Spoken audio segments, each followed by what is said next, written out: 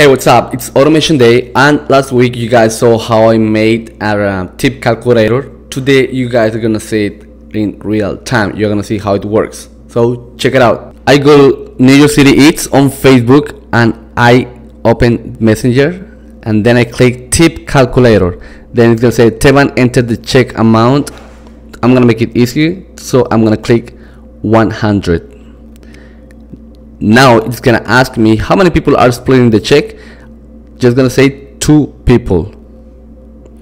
Now what tip percentage would you like to tip? Notice how you see the quick replies here the buttons.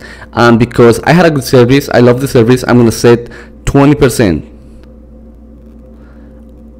it showed me that dude calculating the result and now it says Teban here the result subtotal per person 50 bucks. I gotta pay 50 bucks.